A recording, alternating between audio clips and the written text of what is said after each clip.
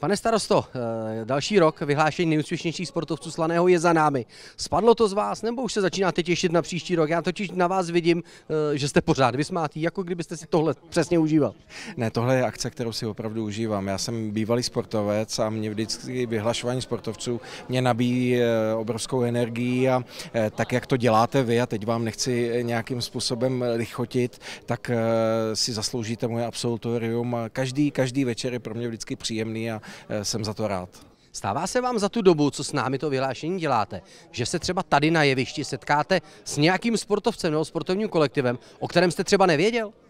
Eh, nestává se mi to pravidelně eh, prakticky vůbec. Já se snažím eh, sport sledovat. Dneska už teda bohužel jenom ho sleduju zpozdálí. Býval jsem trenér, býval jsem sportovec, byl jsem i tělocvikář, a, takže pořád se snažím udržet kontakt se sportem. Takže nestává se mi, že bych tady objevil někoho úplně zcela výjimečného, ale stává se mi, že před anketou se většinou setkávám, každoročně se setkávám s někým, kdo je, kdo je nový. Teďko tady třeba boxérka mm, eh, výborná, tak o té jsem se dozvěděl vlastně před rokem a eh, byl jsem rád, že se dostala i na nominace. Vítěz Tomáš Řenč řekl pro mě v jednu velmi zajímavou věc. Kromě toho, že má samozřejmě svoje vlastní sportovní ambice, tak tady rozjíždí triatlonový oddíl. Jak se vám to poslouchá vám jako prvnímu muži slaného?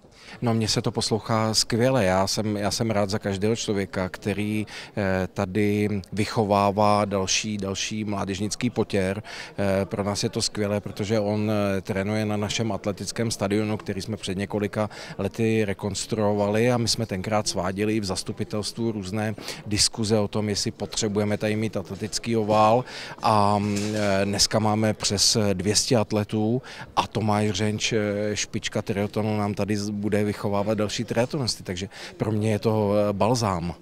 Děkuji. Děkuji.